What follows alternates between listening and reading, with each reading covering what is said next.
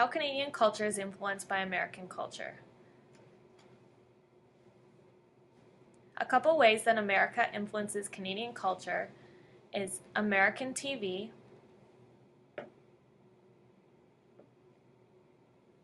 the American film industry, and American stores and products. Let's start with American TV. A quick quote regarding the situation. Against the kaleidoscope backdrop of shared cultural ad- artifacts and common video references, perhaps no nation has so habituated itself to an on off American non American identity as Canada, a nation exposed to intense U.S. electronic media invasion since the inception of radio broadcasting in the 1920s. The Canadian satellite policy of the 1970s brought Hollywood heroes and symbolic shadowlands to the remotest Canadian north via NBC, CBS, ABC, and PBS.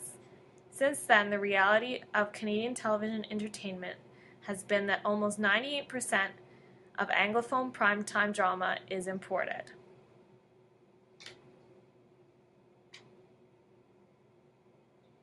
Why is there so much American shows on Canadian TV? The answer is money. The most popular American imports are sitcoms and dramas. They are good bargains for Canadian television stations. The stations claim it would cost them 10 times as much money to produce their own programs as it would to subscribe to American favorites.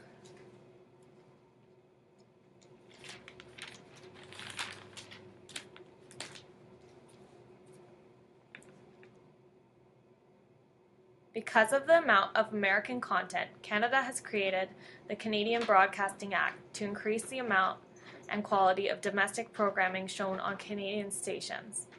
This does little to help, as American TV is just more popular in Canada. For example, iTunes.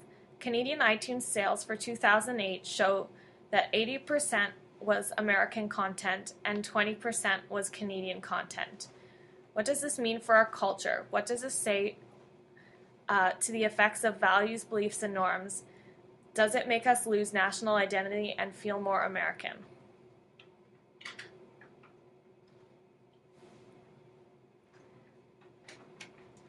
Let's take a look at American stores and products.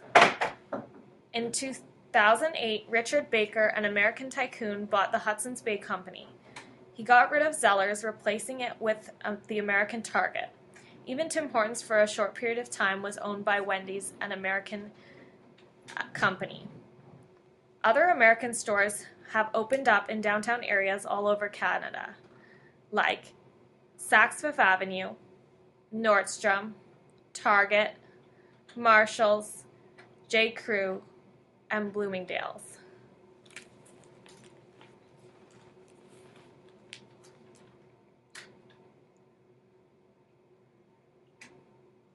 This makes things harder for Canadian based stores as they begin to struggle. For example, Montreal based Le Chateau, Toronto based Tabi, Montreal based Jacob, and Vancouver based Please Mom. What impact uh, does this have on culture?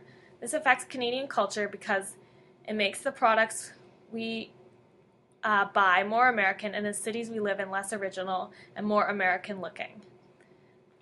Now let's take a look at the American film industry. Many big block, buck, blockbuster films are filmed in Canada with the intention of looking uh, like somewhere in the States.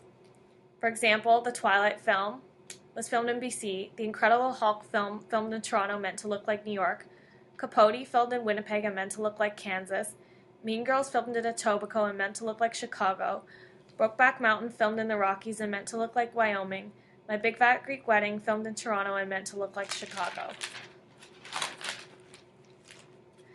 What does this mean for Canadian culture and Canadian cities and places as they masquerade as American? Why couldn't the films be played out in Toronto and Montreal? Does this make us lose our identity? Also, American producers have taken advantage of the favorable rate of exchange and lower labor rates to film in Canada while making Canadian locations look vaguely American as stated before.